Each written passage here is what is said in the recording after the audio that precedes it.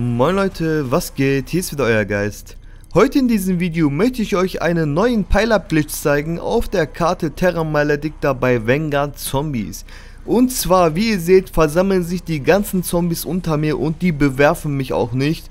Und ja, wie dieser Glitch funktioniert, zeige ich euch jetzt. Als allererstes braucht ihr die Erntemission hier in diesem Bereich, Leute. Füllt am besten die erste Rune noch nicht und öffnet hier diese Tür genauso wie ich in dem Video.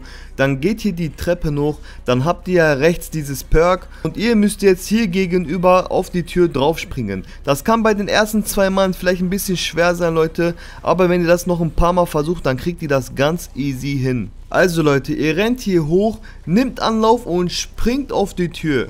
So, wenn ihr dann hier seid, dann werden sich die Zombies unter euch versammeln. Jedoch habe ich die Erfahrung gemacht, sobald ich die erste Rune, den ersten Sündenfresser gefüllt habe und der den Ort gewechselt hat und ich dann auf diesen Glitch gegangen bin, haben die Zombies angefangen mich abzuwerfen. Aber solange ihr das bei dem ersten Runenstein macht, ohne ihn aufzufüllen, dann werden die Zombies euch auch nicht abwerfen, Leute. Das ist zwar nicht der beste Glitch, aber immer noch besser als nichts und wenn in Zukunft noch mehr kommt, dann werde ich es auf jeden Fall hochladen. Also könnt ihr gerne ein Abo dalassen und die Glocke aktivieren, damit ihr es auch nicht verpasst und immer auf den neuesten Stand bleibt. Viel Spaß mit dem Video und bis zum nächsten Mal. Ciao.